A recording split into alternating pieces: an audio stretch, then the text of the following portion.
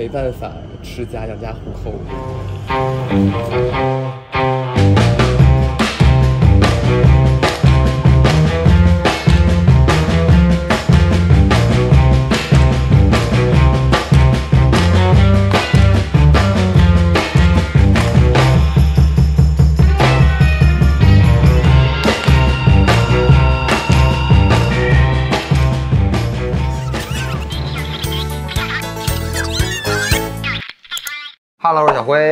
涵，欢迎来到《灰海流浪记》。往期的影片大多数都是带大家去逛景点，去打卡好吃的，或者去这个岛、去那个岛，各种海边什么的。就比较素，但是很多人会觉得说，哎，其实泰国它是一个荤腥之地。这个国家有很多荤的东西可以玩儿，所以我们今天分享的这个，我觉得沾点荤腥吧。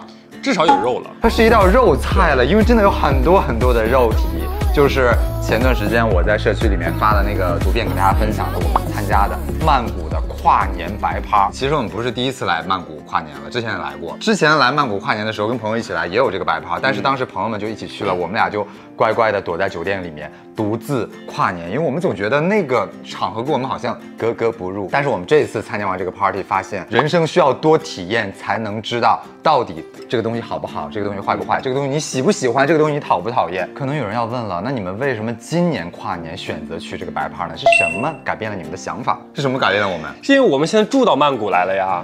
对，因为心态因为之前我们和朋友是一起来曼谷玩，就大家都是一种游客的心态，就是你喜欢去玩你喜欢的地方，我去我喜欢的地方就可以了。那现在就是咱们住在这儿了，有一种东道主的感觉。我们搬来这个曼谷也才半年多一点的时间，但是朋友们来曼谷都纷纷会找我们玩，就总觉得说你们是居住在曼谷的，你们是常住在曼谷的，我们就有一种地主感。地主之谊的感觉。所以朋友来曼谷跨年，他们要去参加这个白趴，我们好像。就很自然的觉得我们要陪着陪着他们一一起去。在带大家感受白趴之前，我觉得我们要先跟大家说一下到底什么是是白。趴因为我之前发了一些白趴的照片，然后就有人来给我留言说这是曼谷的什么酒吧，我也要去。跟大家说一下，这个不是酒吧，酒吧嗯它是曼谷的一个跨年的 gay party，对就是每年跨年的时候都有。往年的话是连续三天，三天今年是连续四天，是二十九号开始，然后二十九、三十、三十一、一号，对四天，每天晚上都有这个 party，是一个室内的场，就在市中心。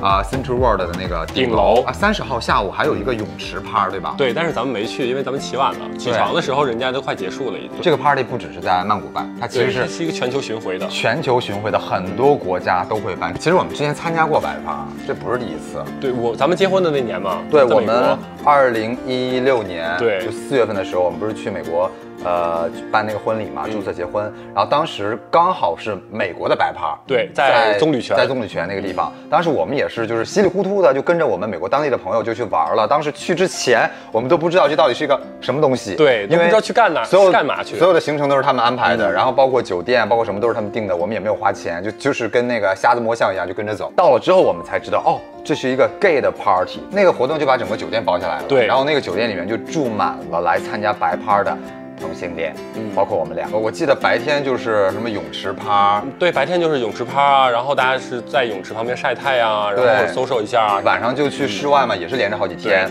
室外很大的一个场地，还有摩天轮，还会放烟花，就很嗨，很开心。我就每天都是被那个音乐吵醒的。对，因为我们的窗外就是泳池，对然后那个泳池里面就有好多好多的肌肉男，就感觉像一个清水煮牛蛙。那是我们第一次参加这种 gay 的大 party，其实当时有一点被吓到，就是有一种没见过世面、刚进城的感觉。刘姥姥进大观园的感觉，不知道怎么玩儿。当时我听说了一个玩法，就非常的震惊。在这个酒店住的所有的 gay，如果你晚上欢迎别人进入你的房间，你就把那个门锁二道锁那个插销嘛，对，嗯把那个东西别出去，你的门不就关不上了吗？留了一个缝，别人就能进来。如果你欢迎别人进你的房间，跟你啪啪啪，你就可以把那个门留一个缝。如果你不希望别人进来的话，你就把正常门锁上正常的关好锁好就可以了。我们有一天晚上，呃，从外面回来的时候，嗯回来房间的时候，就看到。有好几个人就像巡逻一样，在那个酒店的走廊里面，挨个门挨个门的去看去能不能看推进去。而且当时还有一个美国的老爷爷，啊还是老爷爷吧。然后我觉得是老爷爷了。呃这要是在那个年纪，肯定是老爷爷了。对，然后在 party 上看上韩总了，看上他了，嗯然后就呃不停的跟他聊天，不停的跟他聊天。然后我们回到酒店之后，还要一直追着他，就是要睡他。而且那个老爷爷开出了不菲的价格，当时说是。给你多少钱？最后开到了好像人民币要两万多了，能不能给你做一次？韩总最后还是拒绝了，回来房间才告诉我这件事儿，我当时就非常的生气。你 应该答应啊，为什么不答应？就可以把门票和那酒店的钱都赚回来不。是吧两万多哎，当时我们年纪也小，两万多对我们来说是一个很大的数字了，你就睡一下而已，两万多块钱就这么没有了，就这么打水漂了啊！我当时特别的生气，我想说你实在是太不懂得这个持家之道了，有钱你都不赚我是。怕老那个老爷爷死在我的床上面。为什么？因为太老了，是吧？我记得当时那个美国的白话其实没有多少亚洲人，除了我们这一波之外，都没有什么亚洲人，全是那种。呃，就是美国的白人啊，黑人非常的壮，特别大肌肉、大 muscle 那种大牛蛙的感觉。我们感觉每个人都可以把我装进去。对，我们在他们里面就像小朋友一样，嗯因为当时我更瘦，当时我比现在瘦十斤，当时没有健身。美国的是在四月份左右嘛，但是曼谷的好像一直都是在嗯跨年的这个节点。对对，所以曼谷的这个其实更热闹，来的人更多。嗯就全世界各地的同性恋、各地的 gay 全都飞过来。虽然这个 party 它也不是说只能让 gay 进，LGBT 群体其实都可以进，但是绝大部分还是 gay。我几乎没有看到女生在里面。啊，Y Party 它的地址是在曼谷市中心的 Central World，跟大家讲一下，Central World 是曼谷非常有名的一个商场，它旁边就是百丽宫，所以它的位置是非常非常非常市中心的。啊、无论你是坐 BTS 也好，或者是你是打车也好，都很方便可以到达这个地方。所以如果大家是来参加白趴的话，最好是住在市中心，会比较方便。因为我们家下楼大概三百米就是 BTS 站，算是离 BTS 很近的。这个 Central World 它也是在其中的 BTS 的一站，所以从我们家下楼坐 BTS，也就是天铁了，直接去到这个地方是非常方便的。咱们家到 Central World 大概也就十分钟。跨年的时候，曼谷是非常非常热闹的，人是非常非常多的，很多很多全世界各地的人都过来跨年。这个时候交通非常非常的堵，而且非常难打车。如果你能坐 BTS 去这个白趴，就最好坐 BTS 去。尤其是那个三十一号跨年的当天，肯定是要坐 BTS 的，因为很多路段都封路了。三十一号是跨年趴，嗯那天是比较热闹的。然后一月一号，也就是元旦当天是真正的白趴，所以那两天其实。呃，相对来说人会更多一些，更更多更热闹一些。这个 party 在 Central World 的这个商场举办有一个好处，就是大家可以提前一会儿到商场吃晚饭，对，因为它是在这个商场的顶楼，顶楼不在八楼，在八楼，但八楼以下有很多可以逛街的地方，可以买东西的地方，还有就是很多的餐厅。所以如果啊、你到的比较早，你也可以先跟朋友一起吃个饭，吃完饭之后直接再上去，因为蹦迪需要体力，我们要提前摄入一些食物，摄入一些能量。如果你没来得及吃饭也没有关系。啊，里面有卖吃的。我非常诧异的是，在这样一个大 party 像夜店一样的这种氛围里面，他卖的是包子，还有虾饺，嗯还有烧麦。对，然后我第一天去的时候，我就吃了两个里面的包子，很好吃啊，那个里面夹的是那个咸蛋黄馅儿的。，对，里面也有卖酒以及各种饮料，但是里面酒是真酒吗？我觉得可能不一定是真的，我怀疑是假酒第。二天真的头很疼因。为我们第一天去喝了很多，这么大杯我喝了九杯，然后韩总不太能喝，也喝了五杯。那天晚上睡觉就睡得很难受，就一直醒，一直醒，一直醒。第二天起床头也很疼，因为我之前喝过假酒，喝完假酒就有这种感觉。我不能肯定了，但是我怀疑里面卖的可能是假酒。我们第一天去的时候其实没有找到那个地方在哪儿，我们到了第七层了，但是就是找不到怎么去上到第八层的那个入口。到最后实在找不着嘛，我就说咱们这看一下，看看有还有没有其他的那个，呃 gay，gay，对，就是因为你跟着他们走就可以了。你一眼瞄过去，你就能看到你的 gay 达，就能知道，哎，对哪些是姐妹？哇，那有一波姐妹，那有一波姐妹，就来这儿的肯定都是去趴的，而且每个人穿的打扮的都非常的骚，你就远远的看着好多的骚气聚集在一起，然后往一个方向走，就跟着这个骚气一起走过去就可以了。我们远远的就看到有一个电梯从七楼像通天梯一样往上通上去，整个电梯上站满了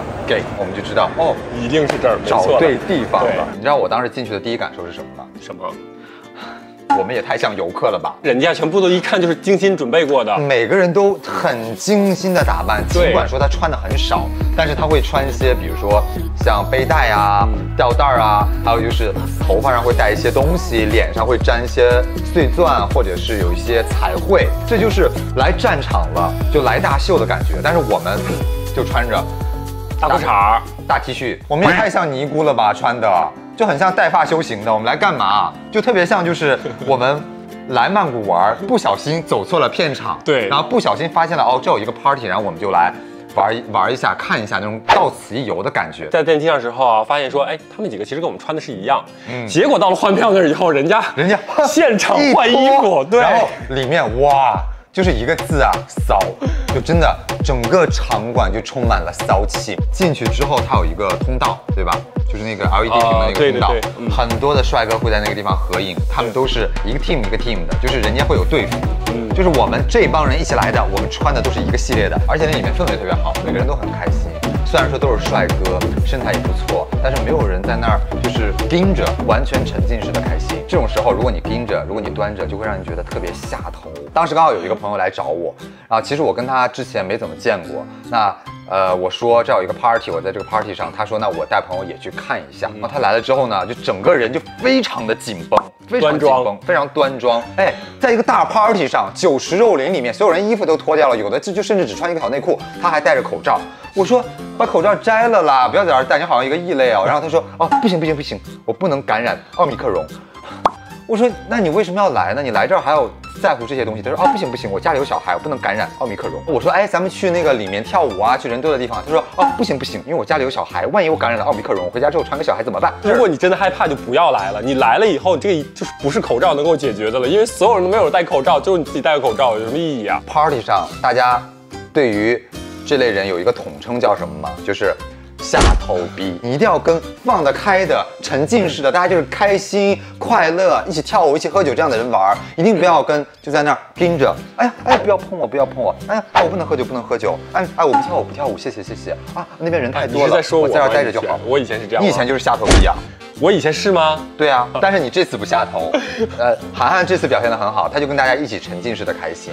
所以大家如果你选择来了这样的 party 上，就尽量的不要让自己那么紧绷，尽量的放松，享受这一切。还有一些事情是我到了这个 party 上我才发现的一些意外状况。比如说呢？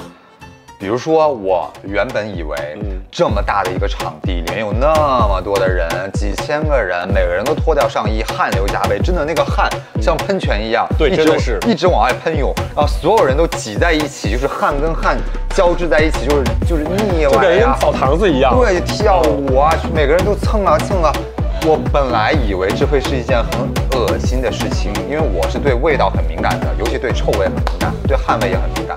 但让我很意外的是，这么大一个场地，几个小时的狂欢，所有人都狂出汗，但是里面没有汗味儿。我不知道是因为它的这个排风系统好，还是因为 gay 都比较讲究，每个人都喷了足量的香水来掩盖自己的体味儿。如果说现场很臭，汗味儿很浓的话，我可能要窒息了。还有一点让我很意外的，洗手间里的啊，疯狂行对为，，这还是我跟你说的。对我都不知道，我都没有发现，我没有发掘新事物的这个灵灵敏的嗅觉，我就一直在里面很傻乎乎的跳。我们本来是去的是外面的这个卫生间，嗯后来外面实在排队太多了，我就去了里面的。小便男生小便是不需要排队的嘛，因为很快，但是大便这边需要排，就是去隔间需要排队。在排队的时候，我就发现了一个一个现象，从房间里出来的人全部都是两个两个的出来的。韩总后来说完之后，哇，我瞬间觉得天哪，真的吗？我要去看，太精彩了！我就假装上厕所，嗯就去到了那个洗手间。当你走进洗手间的时候，你就听到了。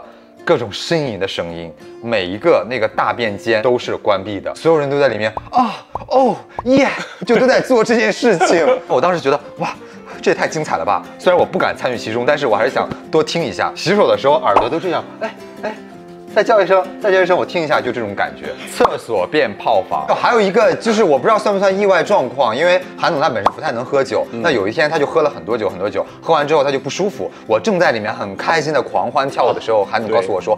我要要吐。吐，我想说下头逼，离我远一点，下头逼，我要跳舞，我要跳舞，你吐你去旁边吐，不要不要不要不要找我，不要找我，我要跳舞跳舞。是跨年的那天，他就说我要吐，我说请请请去吐，我不跟你去吐，我要跳舞，我要跳舞，我要开心。其实我是想忍着的，然后因为我一看时间，还有十分钟就跨年了，我当时状态已经这样了，对，我想说天哪，千万不要吐在吐在我身上。完全不想象自己在那里吐人，太丢人了。当然外面其实已经没有人了，卫生间也不需要那个，因为都在里面都是在等跨年因为还有不到十分钟时间嘛。韩总在洗手间吐完之后，整个人已经晕到不行了，对，就是他就天旋地转的。他就坐在洗手间休息的一个座位嘛。休息。嗯然后后来我是后来才知道，听韩总说才知道的。这个时候来了好几波人，对，就要把韩总捡走，都是老外、是吗？对，来了好几波老外，就是都试图要把他捡走，拉到那个刚才我们说的。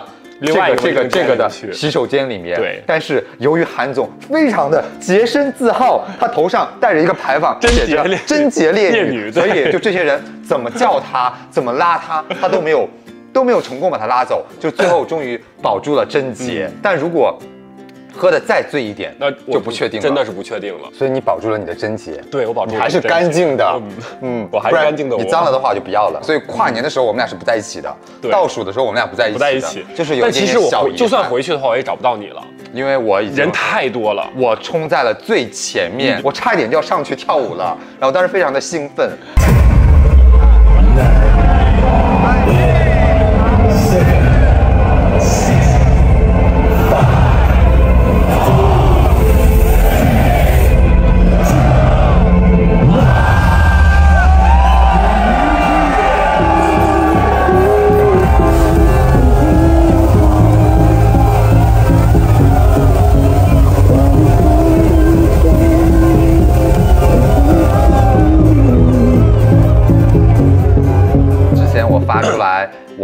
Y Party 的这个照片，底下就有很多人留言说，你们有没有被揩油？被揩油肯定是有，因为所有人都脱光了，包括最后我们俩也脱光了，因为真的非常非常的热，你没有办法穿着衣服在里面待着。如果你穿 T 恤在里面待着，你就会成为一个公共的毛巾，所有人都会一边跳舞，哎呀，擦一下，擦一下我的汗，哎，就是你这种，我告诉你，你这种擦法已经算是非常的那个委婉的了。我当时就是你们周围已经全脱了，然后我还没脱嘛。啊你知道，就是我能感受到他们已经怎么擦了吗？就直接拽过来我的 T 恤，然后就直接这样擦，直接当毛巾擦，直接当毛巾擦。所以，即便你穿着 T 恤，你的身上也是湿的。对人挤人、肉挤肉的情况下，怎么可能不被揩油啊？而且大家很开心的跳舞的时候，就是勾肩搭背，哎，一起跳，一起跳，或者搂着你的腰一起跳，一起跳，就是你难免会被摸几下。不过在那个状况下没关系 OK 吧而且，别人揩了我的油，远远没有我揩别人的油揩得多。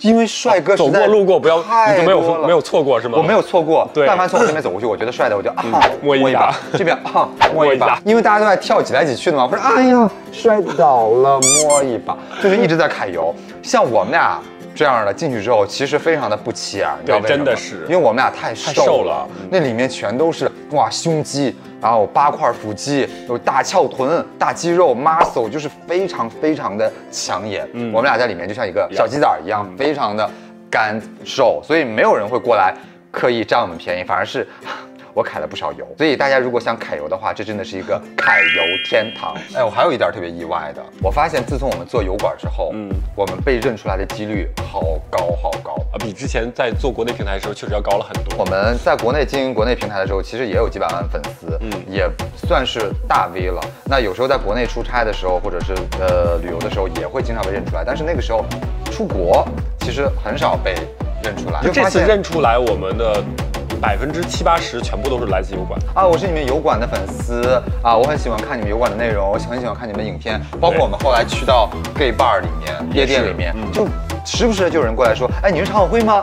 哎，我看你的油管是你油管的粉丝，我想说，我油管总共也才一万多订阅，一万出头，感觉我像一个百万级订阅的一个一一个大 YouTuber 了，到哪儿都被认出来。最后我们跟大家分享一些，如果要来参加这个白趴需要注意哪些事项吧。首先第一点就是买票嘛，那如果大家想来参加这个白趴，最好最方便的就是跟我们一样，提前订早鸟票。一个是这个时候票量比较充足，再有一个就是价格也比较便宜。会优惠，它会有早鸟票的这个优惠价格。八月份的时候就可以开始订跨年的这个 party 了。我们当时订的是一个通票，四天的通对，票，四天通票，而且我们买的是 VIP 的。VIP 的票大概是一万零五百铢，对一个人一个人我觉得这价格还可以，因为是连续四四天的通票通票，嗯而且是 VIP VIP 的票，直接在官网就可以预定，我们可以把他们的网址放在我们的屏幕上如。果你想要来参加这个跨年趴啊，还是推荐大家提前要买票，嗯因为我们有一个朋友，就是他跨年的那天想要过来跟我们一起那个参加这个趴，因为他提前没有买票，对他当天想要买黄牛票，已经出到八千株了，他都没有买到。八千株一天哦，一天啊就跨年那一天普通票嗯八千株买不到。还有一点注意事项跟大家说一下，虽然我们买的是 VIP 的票，但是我们发现买 VIP 票的人也太多了吧。就我们在排队入场的时候，反而 VIP 这边要排队，排队特别的慢普通票那边不排队，因为大家都买了 VIP。我们当时还跟那个工作人员说，我们能不能从普通票那边进去？进去他说不可以，嗯你们是 VIP 票，你们必须要从这个 VIP 的入口进，就导致。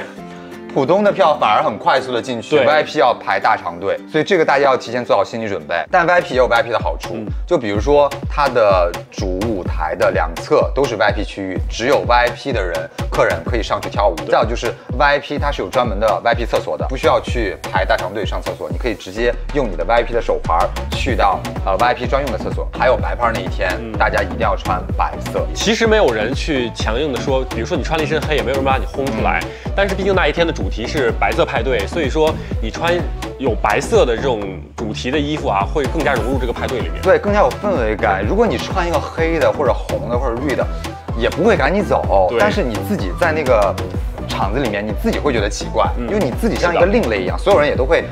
看你，哎，这个人怎么跟我们不一样？因为所有人都穿白色，而且一定要穿舒服的鞋子。你像我平时就是一个增高鞋垫的爱好者，我去这个白牌四天嘛，前两天我都坚持穿着增高鞋垫在蹦迪，太厉害了，第三天，我实在坚持不下去了，我就把我的增高鞋垫抽了出来，因为太累太累了。所以大家一定要穿舒服的鞋子，最好是穿运动鞋或者跑步鞋去。这样的话，你一天下来脚也不会太痛，因为你要蹦好几个小时。真的不要去追求说这个鞋子它到底好看还是不好看啊，嗯因为没有人看你的鞋子的。一定要穿便宜的鞋去，对因为你的鞋子会被踩得非常的脏。你如果你穿一个名牌的比较贵的鞋去，你可能会心疼，嗯但你买一个便宜的鞋到那儿。这被踩成什么样子都无所谓了，最好能背一个包，然后包里再装一件干净的 T 恤和毛巾过去。趴结束之后，你的 T 恤真的会湿透，就没有根本没有办法穿了哪。怕你的 T 恤你脱掉了，你你放在了你的这个裤腰上，也是会被汗浸，就是对浸透的。所以当你出来之后，你再去穿上这个已经湿透的 T 恤，你会很难受。所以这个时候，如果你包里哎有一件干净的 T 恤，还有一个毛巾能给自己擦擦汗，就会舒服非常多。虽然你在里边你闻不到汗味儿，但是你真的出来以后，然后我就拿起自己那个衣服上面，那个汗味儿还是挺大的那。个 party 门口是有寄存的地方的，可以寄存包包。还有一个我觉得是比较关键的，一定要提醒大家的，尽量不要去喝陌生人给你的饮、哦饮料或者水，是也尽量不要去吃陌生人。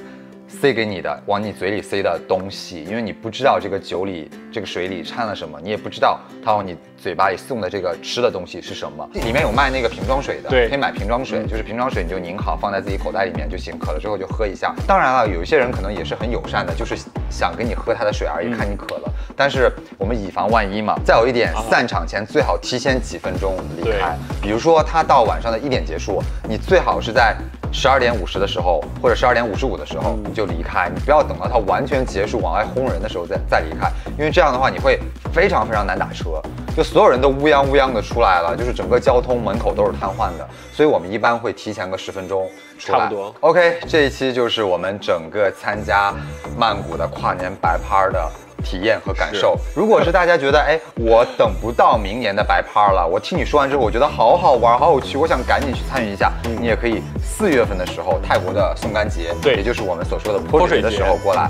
泼水节也是有大 party 的。，对，今年泼水节的 party 一样是四天啊。据说泼水节的 party 一点都不亚于跨年 party。如果你对泼水节的 gay party 感兴趣的话，其实现在就可以买票了，而且现在是早鸟价。我们会把这个官网信息放到简介里面。今年泼水节 party 的时间是在四月十三号到十六号，对，十三、十四、十五、十六。对，四天一共五场派对，四个晚上的，然后还有加一个泳池泳派对。如果大家来参与了这个 gay 的 party，然后觉得很喜欢、很好玩、很有趣、很依依不舍，其实也可以去体验一下同志 party 的天花板。游轮就是同志游轮，全世界有很多很多的同志游轮，包括泰国这边也有，像美国迈阿密那边也有去到加勒比海的游轮，像欧洲也有游轮，就是几千个好基友在一艘游轮上驶向大海，在海上漂七天七夜，每天就是狂欢、跳舞、做游戏，然后看表演、吃好吃的，就在这个游轮上非常非常的开心，非常非常的沉浸式。我听很多人说。这在这个游轮上，你真的可以忘掉很多的烦恼，而且当最后一天第七天大家要离开游轮的时候，很多人依依不舍，依依不舍抱头痛哭，都不舍得啊要走了。它好像是一个梦幻岛一样，可以让你从现实生活中这些烦恼中间去抽离出来，让自己非常非常沉浸的去快乐几天。我们俩其实也有计划，有机会也想去参与一下这个同志游轮。我们是比较鼓励大家可以多多去体验这样不同的人生、不同的感受，就不要在一个事情你还从来没有体验过的时候就把自己给框住，就说我不可以这样，我不可以那样啊，把自己的上下左右画一个框框，把自己框起来，就觉得这就是我的人生，这个人生框框以外的东西我都不能去体验，这样真的会错过很多精彩。哪怕你要讨厌这个东西，我希望也是在你体验体验感受之后，你再去说我是喜欢他还是讨厌他，而不是还没有任何的经历的时候，靠自己的意淫，靠自己的遐想就判定说他肯定不好玩，他肯定没有趣，他肯定很讨厌，他肯定会让我不喜欢。人生就是要在不停的体验当中度过的，我们可以体验一些不同的精彩，这样我们人生才更加的绚丽多彩。以上就是本期影片的全部内容。如果喜欢我们的影片，记得多多点赞、互动以及点击小铃铛，订阅我们的频道。下期见喽拜拜。